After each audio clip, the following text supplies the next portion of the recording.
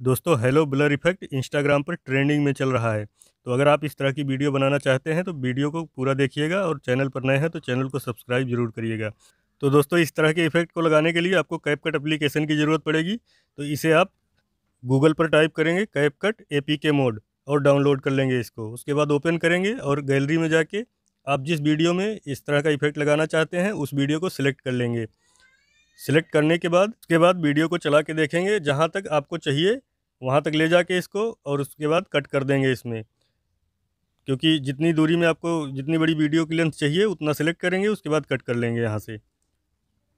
तो कट करने के लिए आपको यहाँ पे ट्रिम का ऑप्शन है स्प्लिट का स्प्लिट कर देंगे, उसके बाद उसको डिलीट कर देंगे। उसके बाद अब जहाँ पे इफ़ेक्ट लगाना है आपको, उतनी दूरी एरिया सेलेक्ट करेंगे और उसके बाद वहाँ भी स्प्लिट कर देंगे। तो स्प्लिट करने के बाद अब इतनी दूरी में लगाना है हमें तो इसको सेलेक्ट करेंगे। उसके बाद यहाँ से अब नीचे आपको दिख रहा होगा इफ़ेक्ट का ऑप्शन तो इफ़ेक्ट पर जाएँगे और आपको यहाँ बेसिक ट्रेंडिंग में सिलेक्ट होगा, उसके बाद उसके बगल में बेसिक होगा। तो बेसिक पर जैसे ही क्लिक करेंगे तो पहला ही है डायमंड डायमंड जूम के नाम से।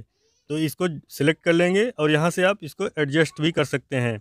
इसका साइज़ इसकी इंटेंसिटी स्पीड और हॉरिजेंटल इस तरह से इसको थोड़ा सा बढ़ा बढ़ा के अपने हिसाब से देख के सेट कर लेंगे।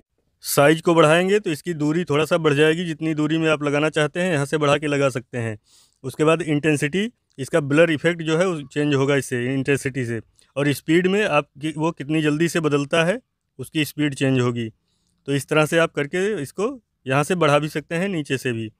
जितने में रखना चाहते हैं, उस, उतने में रख देंगे। उसके बाद चला के देखेंगे, कुछ इस तरीके से ये दिखेगा। इस तरह का इफ़ेक्ट आप बहुत आसानी से लगा सकते हैं।